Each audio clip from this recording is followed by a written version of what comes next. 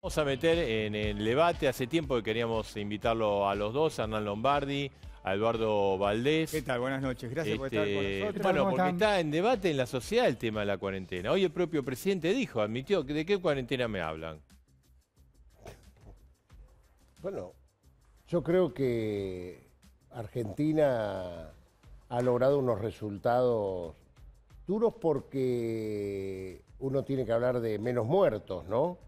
Pero en el mundo es uno de los cinco países que más eh, eh, uno ve la BBC, ve- lee el sitio de la CNN, estoy hablando de lugares que no piensan como nosotros y se valora como que Argentina es uno de los cinco países que mejor trataron el tema de la pandemia. Y mejor lo tratamos por una cuestión de sentido común y de humanidad, porque convengamos que ninguno de los dirigentes políticos nunca nos preparamos para gobernar en un mundo de pandemia, ¿no? Creo que ahí el presidente, yo digo con orgullo, pues yo estuve ese 19 de marzo al lado de él a las 9 de la mañana, el bien jurídico a tutelar, ahí era la, la decisión cómo se construye, porque él la construyó, no es que la tomó. ¿Cuál es el bien jurídico a tutelar? Me decía ese día- esa mañana. La vida, bueno, vamos a ver qué piensan los gobernadores, los intendentes, los científicos. Y se fue construyendo la decisión. Y fíjate que por encima de lo que digamos, la sociedad acompañó a los líderes políticos que se juntaron a tomar decisiones en común para, para la cuestión de la pandemia. Al prueba está en que los mejores posicionados cuando los sociólogos miden cómo está la sociedad son los dirigentes políticos que tomaron acuerdos en común aunque estén enfrentados en la cuestión política. Entonces, para mí está bien. Yo no...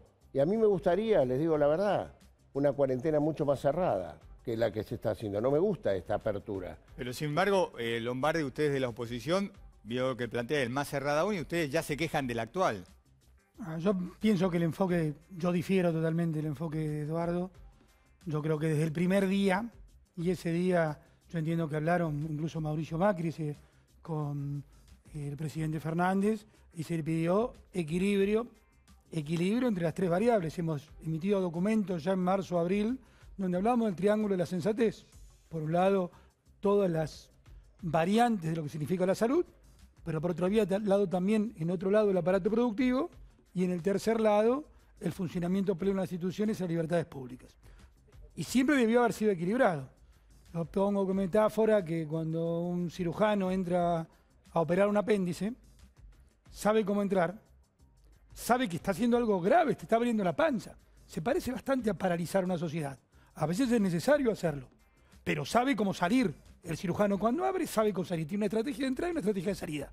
Seamos honestos intelectualmente, cuando abre el cirujano, además del apéndice puede encontrar una peritonitis. Se tiene que alterar, pero nunca deja de salir. Nosotros estamos frente a la estrategia más prolongada y más restringida de todo el mundo. Y no nos ha dado buenos O sea, no resultados. sabe salir el gobierno. No tenía plan de salida, yo no, no me gusta decir, no usar adjetivos, entrampado, no, no me gusta entrar en adjetivos. Digo, pero esto es lo que objetivamente pasó y esos equilibrios entre las, el funcionamiento pleno de las instituciones, en los temas económicos, sociales, laborales y los temas de la salud pública, de nuestro punto de vista, fueron, eh, se fue desequilibrando y ahora estamos en el tremendo lío que estamos. Pero me parece que hay que mirar el futuro. Hay que mirar los próximos seis meses. Yo- digo, para ser honesto de nuevo, hay que felicitar al gobierno hoy por el logro de la vacuna. Uno tiene que ser honesto. Hay que felicitarlo a Ginés por el trabajo que hizo eh, con, lograr una vacuna para Argentina. Sería bueno reconocer que el primer acuerdo con AstraZeneca se hizo en mayo de 2019 dentro del gobierno de, de Junto por el Cambio de Macri. Pero no importa, algunos reconocen cosas, no reconocen. El acuerdo original, estratégico se hizo ahí, pero se hizo un avance, es bueno y es lógico. Vamos a